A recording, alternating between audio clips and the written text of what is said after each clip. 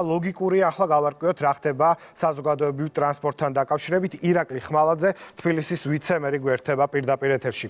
საღამომშვიდობის ბატონო ირაკლი მადლობა რომ ხართ მაყურებლის პირისპირ მოკლედ ჩვენ ბევრი ვისაუბრეთ რეგულაციებზე ბევრი ვისაუბრეთ იმ ჯარიმებზე რომლებიც უსაფრთხოების გზით თუნდაც შესაბამისმა უწყებებმა დაადგინეს. მაგრამ ლოგიკური ახლა დავსვათ კითხვა. თუ მე გამიძვირდა პირადი ავტომობილით გადაადგილება და უკვე ალტერნატივა უნდა გამიჩნდეს საზოგადოებრივი ტრანსპორტი და მომიხდეს ამით გადაადგილება ქალაქის რეგიონის თუ ასე შემდეგ მასშტაბით. როგორია ინფრასტრუქტურა და რამდენად თანხwebdriver-ში, ანუ რეგულაციები და შიდა საქალაქო ტრანსპორტის განვითარება ეწევა ერთმანეთს?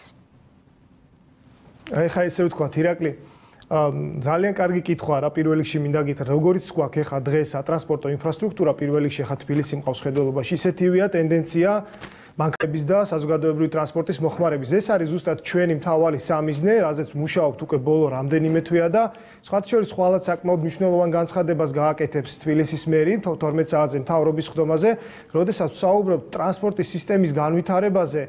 აქ მარტო საუბარი იმაზე, რომ მაგალითად ავტობუსები უნდა ჩავანაცვლოთ, მეტრო უნდა განვაახლოთ, არ არის ალბათ საკმარისი საზოგადოებრივი ტრანსპორტის განვითარება, ეს არის ისეთი სცენარი, როდესაც მუნიციპალიტეტი იყენებს ყველა მიზანშეწონილ ინსტრუმენტს იმისთვის, რომ გაიზარდოს საზოგადოებრივი ტრანსპორტის მოხმარება და რაც თავარია შემცირდეს კერძო სატრანსპორტო საშუალებების მოხმარება. ყოველი წლის ტენდენცია ჩვენ რომ დავაკვირდეთ, იზრდება ქალაქში მანქანების რაოდენობა.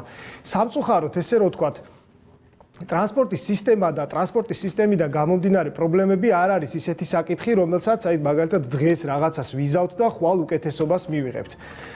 ეს უთა უფრო გძელვადიან ჭრილში გვაძლევს გარკვეულ შედეგს, კარგს თუ ცუც. ისევე როგორც შეგვიძლია დღეს ვიმსჯელოთ რამდენად სწორი პოლიტიკაა ბოლო 10-15 წლის განმავლობაში ქალაქში და ქვეყანაში გატარებული იმ შედეგებიდან გამომდინარე დღეს რომ ქალაქში ყვაგვდა არანორმალურად დიდი რაოდენობის მანქანების 70% უკვე ნუ მილიონ 200.000 ავტომობილზეა რეალურად საუბარი რაც ალბათ ძალიან დიდია. თუნდაც იმ გზების კუთხით რომლებიც ბევრი წლის წინ იქნა დაგებული და არ არის გათვლილი ხო?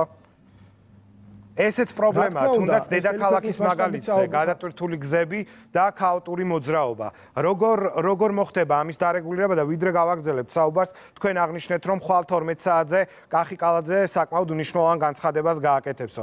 ჩვენ ვიცით, რომ როდესაც ის უნდა აერჩია, თბილის პრიორიტეტი იყო მისთვის და დღემდე პრიორიტეტია საქალაქო ტრანსპორტის მოწესრიგება, მაგრამ იქნებ გითხრათ მცირეოდენ ინფორმაცია, რა არის ის მნიშვნელოვანი ინფორმაცია, რაზეც ისაუბრებს ხვალ მერი?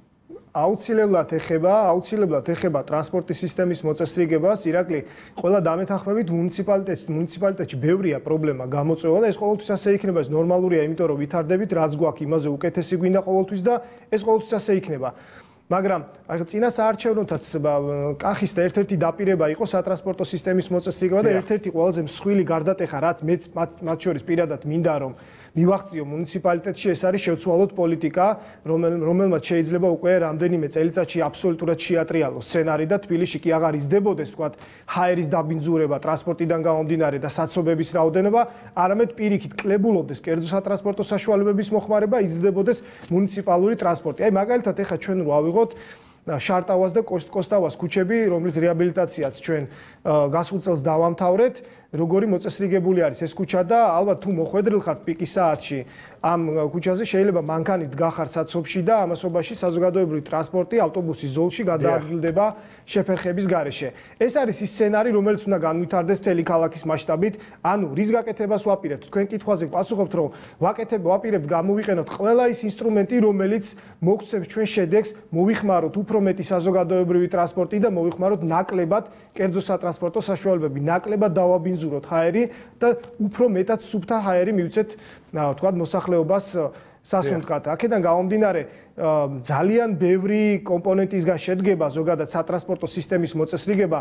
რა თქმა უნდა, თქვენი პირველი კითხვა ეხებოდა ავტობუსების ინფრასტრუქტურას, რამდენად მზად არის ავტობუსები არ არის მზად დღეს თუ ავიღებთ, ისევე როგორც მე როგორც მეტროც არ არის მზად, ნუ გასაგებია, მაგრამ ვიღაცას უნდა დაეწყო ახლა ამის მოწესრიგება. საზოგადოებას აქვს ინფორმაცია, რეპორტაჟებიც ნახა. რეპორტაჟებიც ნახა მიმდინარე კვირას, რომ ახალი თანამედროვე ავტობუსები შემოვა დედაქალაქში. პარალელურად იყო თუ არ ვწდები ერთი შემთხვევა ყვითელი ავტობუსი რა რა ინციდენტით შეემთხვა, ხო? ანუ ნებისმიერ მოქალაქეს უნდა, თუნდაც მე ესე ვფიქრობ ყოველ შემთხვევაში, ვინაიდან მე ვარ საზოგადოებრივი ტრანსპორტის მომხმარებელი, რომ იმგზავროს კომფორტულად. აი ამ მიმართულებით ეტაპობრივად რა გაკეთდება? ვიცით რომ ახალი ავტობუსების პირველი ნაკადი თუ არ ვწდები შემოვიდა რამდენიმე დღეში ჩამოვა თბილისში, ხო? ნამდვილად ასია 90 ავტობუსი უკვე ამ თვის ბოლოდან დაიწყებს შემოსვლას თბილისში. ამის გარდა ჩვენ კიდე 220 ავტობუსის სატენდერო პროცედურა იყვავს და გავა ბოლოში და კიდევ ვიყიდით 220 ავტობუსს. ესე ხა ეტაპობრივად ავტობუსების რაოდენობაზე რო აღარ ვისაუბრო, პირდაპირ გეტყვით, რომ წლის ბოლომდე მთლიანად უნდა ჩავალნაცლოთ ავტობუსების პარკი. მიმდინარეობს მეტროში, მეტროს ვაგონების დამატება, ანუ ჩვენ რეზერვიდან გამოვიყვანეთ ძველი ვაგონები და მათი მოდერნიზება გავაკეთეთ და სრულიად ახალი თანამედროვე სტანდარტით მივაწოდეთ მომხმარებელს. რამაც მოგცა საშუალება გავზარდოთ მეტროში მგზავრების გადაყვანის მაჩვენებელი. უნდა შევამციროთ მოცდის დროს. დიახ. აა ტექნიკური ხარვეზია თუ არის შესაძლებელი აა იქნებ გავაგზავნოთ ჩვენ აა პირდაპირ ეთერი თბილისის ვიცემერთან. აა თუ არ და გადავალთ უკვე შემდეგ თემაზე ბუნებრივია. ჩვენ ველოდებით, მე პარალელურად გეტყვით რომ